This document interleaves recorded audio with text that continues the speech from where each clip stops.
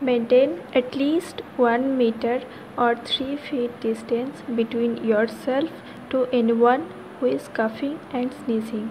Please stay at home and stay safe.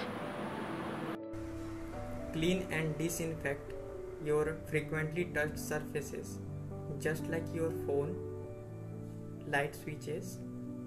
Stay home, stay safe. To avoid coronavirus or COVID-19, we need to wash our hand regularly and thoroughly with alcohol-based sanitizer and water. And I say, stay safe and stay at your home. Throw used tissue in your clothes bin immediately after use. So I say, stay at your home, be safe. Remember to always cover your mouth and nose with a tissue while you coughing and sneezing.